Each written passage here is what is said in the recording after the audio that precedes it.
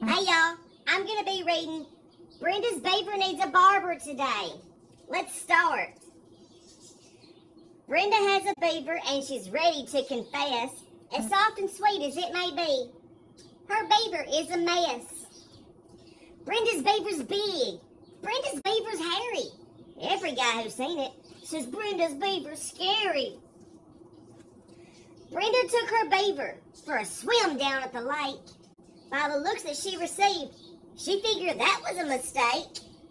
She stuffed that furry mound into a swimming suit. It stuck out all around. It was anything but cute. Some who saw it laughed. Others were just stunned. Brenda's beaver was hanging out, just soaking up the sun.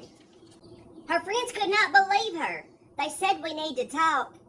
They covered up her beaver and they took her for a walk. Brenda dear, listen here. We want to help you out. Your beaver needs a makeover. It really needs it now. I hope we don't seem pushy, said her biker friend named Kim. Your beaver is too bushy. We just think it needs a trim.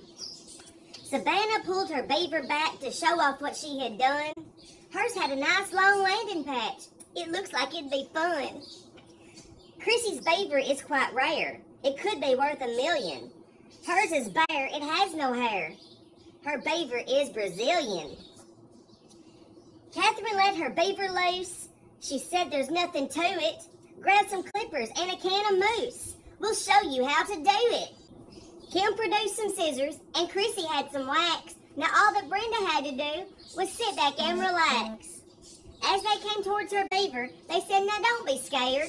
We're going to see what's underneath that frumpy pile of hair. It ended in just minutes. They didn't leave her much. When Brenda's friends were finished, she and her beaver blushed. Her beaver was so tiny, they could not believe their eyes. It was smooth, it was shiny, it was hard to recognize. Now Brenda is so proud. It seems like every time we see her, she's in the center of the crowd. She's showing off her beaver.